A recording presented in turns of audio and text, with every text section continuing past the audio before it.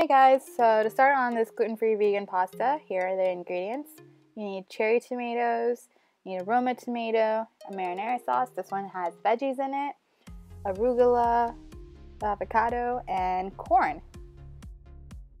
So now you need to get your favorite brand of pasta. I'm using this gluten-free, wheat-free brand called Fusilli or Fusi. I'm not sure how to say it. And then bring a pot of water to boil and cook the pasta according to the package instructions. This one takes about 10 minutes.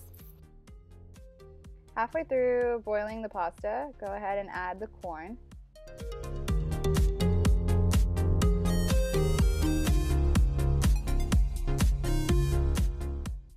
Once your pasta is done, go ahead and drain it and set it aside. And then we're going to move on to the sauce.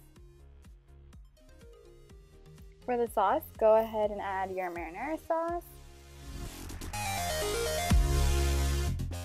and the tomatoes.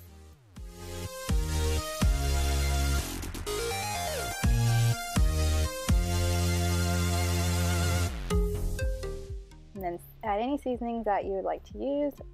I'm using black pepper, crushed red pepper flakes, garlic powder, and oregano. Go ahead and turn the heat down and add the pasta and cook it for another minute. Go ahead and turn the heat off and add the cherry tomatoes and then put it in a bowl.